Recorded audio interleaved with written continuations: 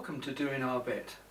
Today well, I'm going to discuss something that came up in a GivEnergy forum, which is where you have a hybrid inverter like I have, and you add a car charger.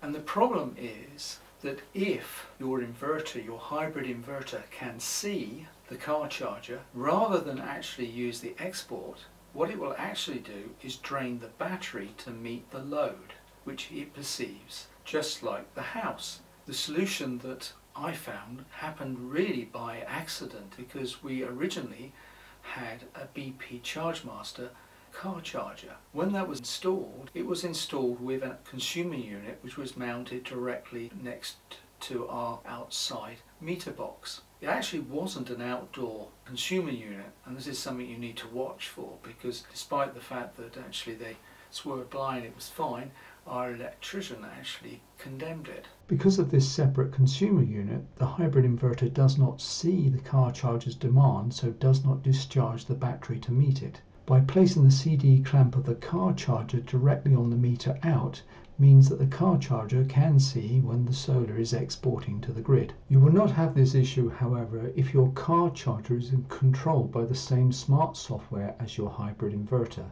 GivEnergy are adding an EV car charger to their ecosystem while MyEnergi have at the time of this video just announced they are adding a hybrid inverter plus battery system.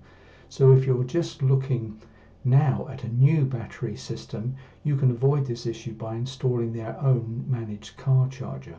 However, with the wide range of hybrid inverters and car chargers available, it's likely this is an issue you need to be aware of when adding a car charger to your existing hybrid inverter. The only downside of this setup is that the MyEnergi data, or whatever you have on your hybrid system, obviously will show an export figure that is much greater than the real export figure. But it's simply a question of, of, comparing your actual export from your energy supplier versus that and you can tell the difference. And in any case you have a you should have a record on your car charger exactly how much solar has actually been taken. So it's it's a minor inconvenience, but nothing compared to draining the battery and not actually doing what you wanted to do. So the solution is to have a separate consumer unit and then to have a CT clamp which is actually the other side of your meter. Hope this short video has been useful and if so please like and subscribe and I'll see you in the next one.